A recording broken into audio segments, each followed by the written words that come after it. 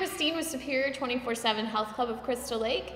I'm the general manager here and I'm sitting with Sandy, our group fitness director, here to answer most common questions that were asked here in the gym. Um, a lot of people ask us when they first come in, either if they're a new member or if they're just walking in to inquire about memberships, if there's someone to show them the equipment.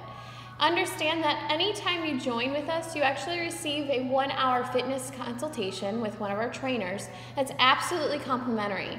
But what that hour is going to go over is your body fat, balance, coordination, flexibility, nutrition, health history, anything really reflecting on your goals. And based off of that, they're going to put you through a fitness test and answer any questions you might have in regards to that equipment.